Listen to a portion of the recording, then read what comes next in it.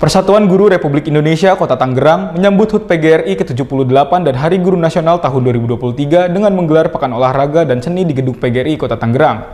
Sekretaris PGRI Kota Tangerang, Bagiodullah Komari menjelaskan untuk olahraga yang dipertandingkan yakni bola voli dan tenis meja, sedangkan untuk lomba seninya meliputi lomba solo vokal, baca, dan cipta puisi.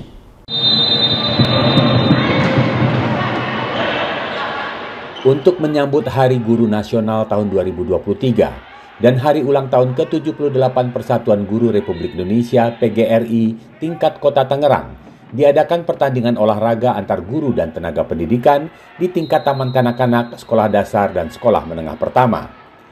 Peserta pertandingan ini datang dari perwakilan 13 kecamatan dan 4 koordinator wilayah di Kota Tangerang, Banten. Sekretaris PGRI Kota Tangerang, Bagio Dullah Komari, Senin 13 November menjelaskan ada dua jenis olahraga yang dipertandingkan, yaitu bola voli dan tenis meja. Kegiatan ini adalah bagian dari rangkaian kegiatan Pekan Olahraga dan Seni atau Porseni khusus untuk para guru dan tenaga pendidikan.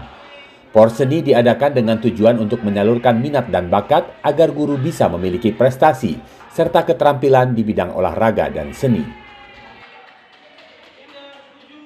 Untuk peringatan HUT PGRI yang ke-78 ini dan menyambut Hari Guru Nasional tahun 2023 tingkat Kota Tangerang, maka ada beberapa agenda kegiatan.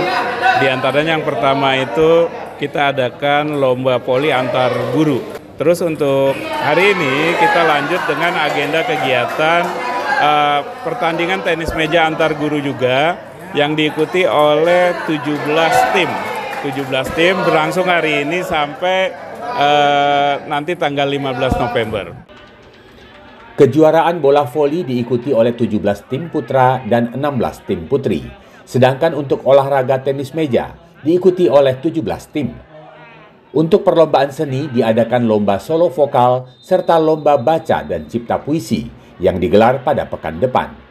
Hadiah bagi para pemenang akan diberikan oleh pemerintah kota Tangerang pada acara puncak peringatan Hari Guru Nasional dan HUT ke-78 PGRI pada tanggal 26 November mendatang. Dari kota Tangerang, Banten, Agung Andika Indrawan, Kantor Berita Antara, mewartakan.